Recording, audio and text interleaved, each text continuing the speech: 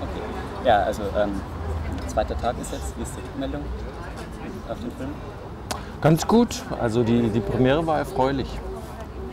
Also es gab, es gibt ja keinen Thermometer, um zu messen, wie heiß ist die Stimmung. Das wird ja auch keiner sagen, so wie gefällt der Film nicht so direkt, oder? Aber Ja, das kommt schon vor, aber es ist jetzt nicht äh, so leicht zu ermessen, wie hundertprozentig die, die Resonanz ist. Vor allen Dingen, weil ich ja auch an einem Film interessiert bin, der nicht unbedingt nur im Moment wirkt, sondern unter Umständen auch Wochen und Monate später. Also man kann im Moment äh, nur eine Ahnung haben, aber es ist ganz gut gelaufen, glaube ich. ähm, welche gestalterischen Aspekte sind Ihnen wichtig bei Ihrem Film, bei Ihren Filmen insgesamt?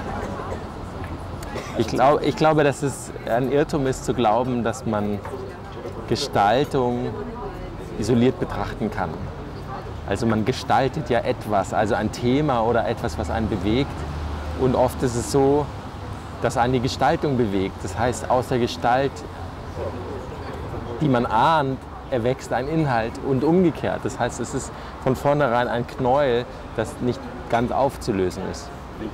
Aber ich glaube an ein Kino, das aus, der, aus Blicken besteht. Das heißt, dass daraus besteht, dass man selbst ähm, sich einen Blick einverleibt, sozusagen, anverwandelt. Und ähm, das ermöglicht uns dann äh, Gegenstände, die unbelebt sind, so aufzuladen. Das ist, nennt man äh, landläufig Identifikation. Und äh, mir geht es nicht um eine bündige Identifikation, aber um Identifikationsstücke geht es mir sehr wohl, die dann ähm, einen Raum entstehen lassen zwischen Einheiten sozusagen, in dem du äh, als Zuschauer kreativ werden musst sozusagen. Ähm, was mich mal interessieren wird, auch mit diesen Filmen, ähm, wie stark lassen diese Filme ähm, Improvisation zu während dem Drehen? Weil, also die wirken ja doch immer relativ ähm, ja, alltagsbeobachtend. Also Improvisation ist, ist, ist als Methode eigentlich immer anwesend, aber das, man muss sich nicht vorstellen, dass das bedeutet, äh, dass man sagt, jetzt macht mal. Überhaupt nicht. Eine Improvisation macht sowieso nur Sinn, wenn man weiß, was man will, wenn man weiß, was man erzählen will, wenn man äh, genaue Vorgaben macht. Improvisation ist dann vielleicht sogar die einzige Form von Kreativität, insofern als dass man Elemente, die festgelegt sind, variiert, äh, jongliert, in Bewegung bringt. Also Film ohne Improvisation ist undenkbar. So wie ihr jetzt die Kamera an einem Punkt stellt, der intuitiv der richtige ist und dann überprüft ihr das Ergebnis, das ist auch Improvisation. Also das Improvisation ist eine Technik, ohne die man überhaupt nicht leben kann. So. Und jetzt ist die Frage, ist das Ausmaß ungewöhnlich groß oder nicht? Ähm, in meinen Filmen ist das Ausmaß wahrscheinlich eher klein. Also es wird relativ viel vorher festgelegt, die Orte, der, auch die im Wesentlichen, wie die Kamera erzählt. Und natürlich entscheidet sich sehr viel über Besetzung und so weiter.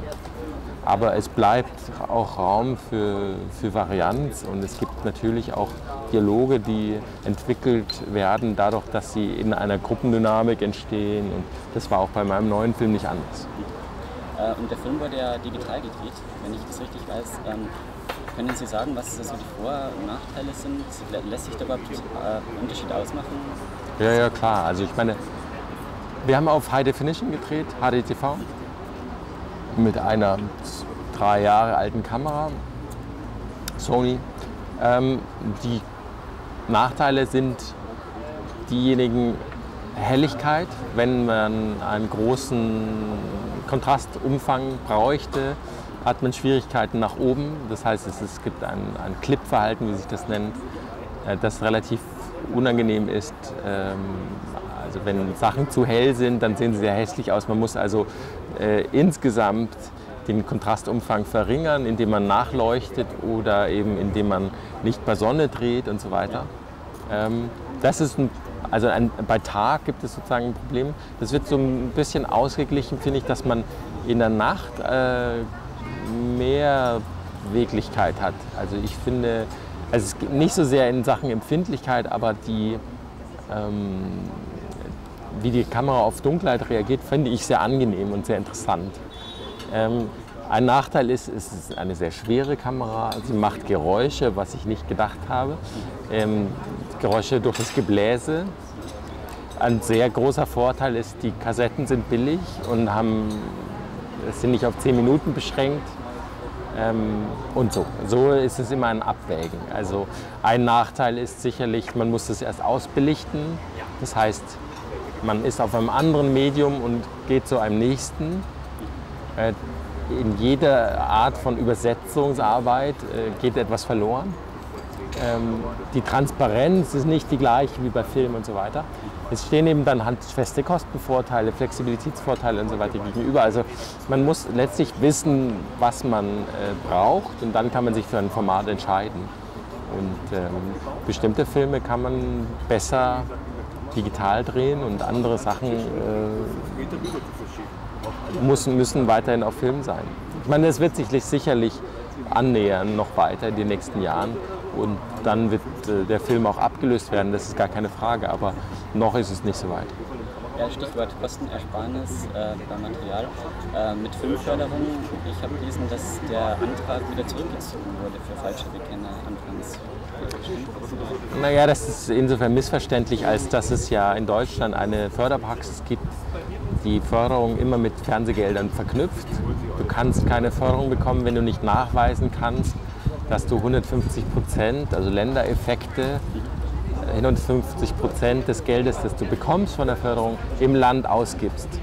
Woher kommen jetzt die fehlenden 50 Prozent? Die müssen ja von einem freien Investor kommen. Das ist de facto immer das Fernsehen. Das heißt, ohne Fernsehen kann man keine Förderung bekommen. Insofern haben wir nicht zurückgezogen, sondern der Sender hat sich zurückgezogen, also konnten wir nicht mehr klassisch gefördert werden. Wir haben dann nach Beendigung des Schnitts eine Postproduktionsförderung bekommen. Das geht, aber es ist natürlich nicht äh, das Gleiche.